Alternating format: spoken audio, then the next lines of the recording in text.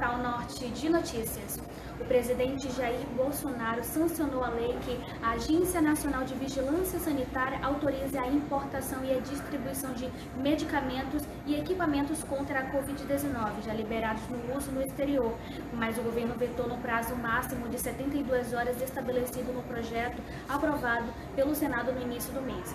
A nova lei ainda obriga o médico que prescrever ou ministrar o medicamento nessa condição a informar ao paciente e ao seu representante representante legal que o produto ainda não tem aprovação ordinária da Anvisa e que o medicamento foi liberado por ter sido registrado por autoridades sanitárias estrangeiras.